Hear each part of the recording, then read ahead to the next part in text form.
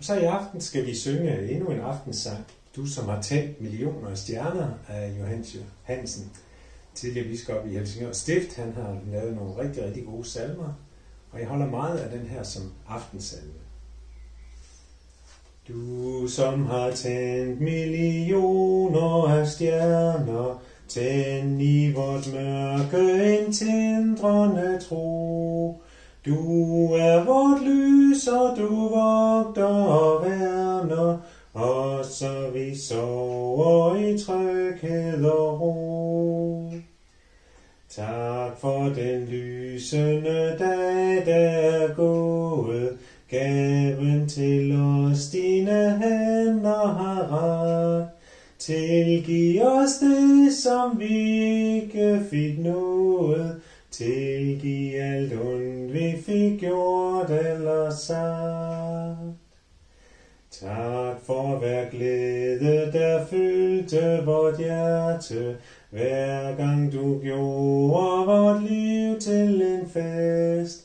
Hjælp os at bære hver byrde, hver smerte, du ved alene, hvad tjener os bedst. Tak for de mennesker, som blev vores støtte, når vi fandt vejen besværlig at gå. Hjælp os i morgen at hjælpe forknytte, mød du os selv i de svage og små. Du som har tændt millioner af stjerner, Mørket i verden vil du byde trods.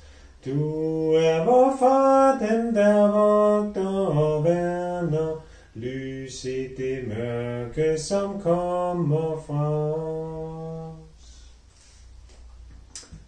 Og lad os bede fader vor sammen. Fader vor, du som er i himlene, helliget blive dit navn. Komme dit rige, Ske din vilje som i himlen, således også på jorden. Giv os i dag vores daglige brød, og forlad os vores skyld, som også vi forlader vores skyldnere.